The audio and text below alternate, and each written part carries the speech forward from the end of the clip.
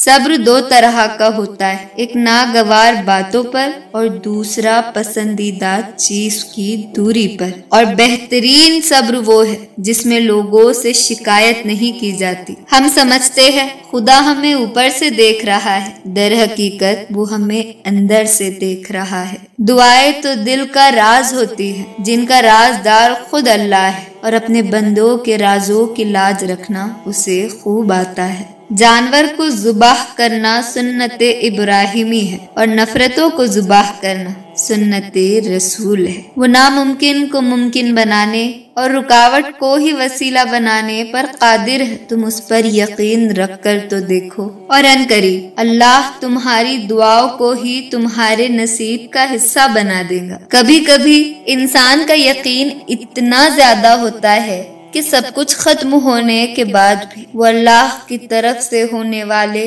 किसी मुआवजे के इंतज़ार में होता है। दुआ सब और तवक्कुल करो और फिर देखो अल्लाह तुम्हारा शुमार भी अता वालों में कर देगा। तुम अपने टूटे वजूद से घबराना मत। वो मालिक कुन है। उसे दिल मुतमईन करने में खूब महारत हासिल है। कुरान पत्थर दिलों को मोम करता है टूटे दिलों को जोड़ता है। और बीमार दिल की शिफा है। वो नसीब बदल भी सकता है। तुम दुआ तो करो। वो तकदीर पलट भी सकता है। तुम यकीन तो करो। मुमकिन, नामुमकिन। इन सब में मत उलझो। दुआओं की ताकत से तो सहरा में भी चश्मा जारी करवाया जा सकता है। जब तुम्हारी मुश्किलात हद से बढ़ने लगे तो तुम समझ कि अल्लाह तुम्हें कोई बुलंद मुकाम देने वाला है। जितना तुम में सब्र होगा उतना ही तुम्हारी दुआ में असर होगा। रसूल अल्लाह सल्लल्लाहु अलैहि वसल्लम ने फरमाया, फितने के जमाने में इबादत करना मेरी हिजरत करने की तरह है। तकरीब मुख्तलिफ़ है मेरे गमे हुसैन की। मैं मातमी नहीं मगर तेरे साथ हूँ। मुमकिन ही नहीं कि दर दर पे